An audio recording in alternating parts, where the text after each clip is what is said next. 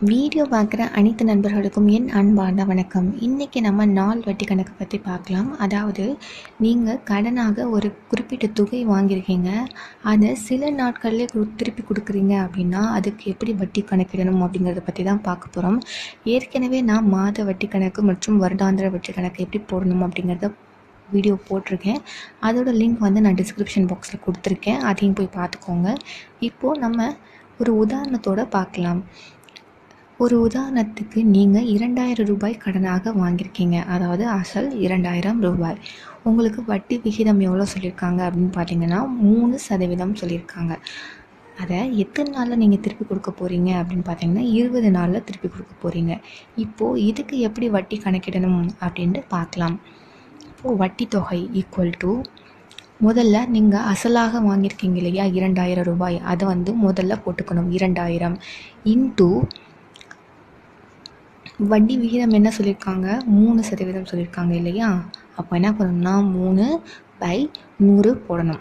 Into இப்போது எத்தனை நாளில் திருப்பி கொடுக்க போகிறீங்க இருபது நாளில் இல்லையா? அப்போ என்ன பண்ணணும்னா இருபது பை முந்நூற்றி அறுபத்தி அஞ்சு. இந்த முந்நூற்றி அறுபத்தஞ்சு என்ன அப்படின்னு பார்த்தீங்கன்னா ஒரு வருடத்துக்கு முந்நூற்றி அறுபத்தைந்து நாட்கள் இல்லையா? ஸோ அதை தான் வந்து நம்ம இங்கே போட்டிருக்கோம். இப்போது இதை கணக்கிடலாம். இப்போ ரெண்டாயிரத்தில் இருக்க ரெண்டு ஜீரோவும் நூறில் இருக்க ரெண்டு ஜீரோவும் போயிடுச்சு. அடுத்து இருபது பை முந்நூற்றி அறுபத்தஞ்சி போட்டிங்க அப்படின்னா ஜீரோ புள்ளி ஜீரோ அஞ்சு நாலு வரும். இப்போ இருபது இன்ட்டு மூணு இன்ட்டு ஜீரோ புள்ளி ஜீரோ ஃபைவ் ஃபோர் போட்டிங்க அப்படின்னா உங்களுக்கு மூணு புள்ளி இருபத்தி நாலு வரும். அதாவது மூணு ரூபாய் இருபத்தி நாலு காசுன்னு அர்த்தம்.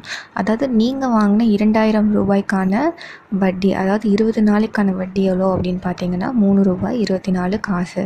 இப்போது மொத்த தொகையை நீங்கள் எவ்வளோ கொடுக்கணும் அப்படின்னா அசல் ப்ளஸ் வட்டி அதாவது இரண்டாயிரம் ப்ளஸ் மூணு ரூபாய் இருபத்தி நாலு காசு போட்டிங்க அப்படின்னா இரண்டாயிரத்தி மூணு ரூபாய் இருபத்தி ரெண்டு கா இருபத்தி நாலு காசுகள் வந்து நீங்கள் மொத்தமாக கொடுக்க வேண்டிய தொகை.